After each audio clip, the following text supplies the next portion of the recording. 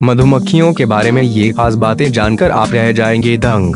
प्रत्येक वर्ष अगस्त के तीसरे शनिवार को सारे संसार में national honey bee awareness day celebrate किया जाता है।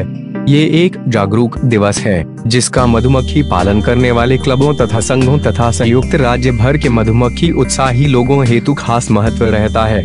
मधुमक्खियों की बीस हज़ार से अधिक प्रजातियाँ हैं, हालाँकि इनमें से केवल चार ही शहद को बना पाती है। दाइश सिर्फ़ मादा मधुमक्खी ही शहद को बना सकती है एवं वे डंक मार सकती है। वहीं, नर मधुमक्खी तो सिर्फ़ रानी संग संबंध कायम करने हेतु ही पैदा लिए होते हैं। दाइश मधुमक्खी शहद को पूर्व ही पचा देती है तथा इसलिए इसे हमारे खून तक पहुँचने में सिर्फ़ 20 मिनट का वक्त लगता है। दाइश एक किलो शहद तैयार करने के लिए पूरे छत्ते को लगभग 40 लाख फूलों का रुपए चूसना पड़ता है व नब्बे हज़ार मिल उड़ना भी पड़ता है।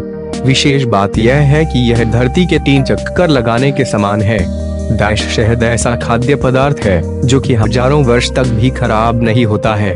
डैश मधुमक्खी धरती पर अकेली ऐसी कीट है, जिसके ज़रिए तैयार किए गए भोजन का सेवन इंसान करता है।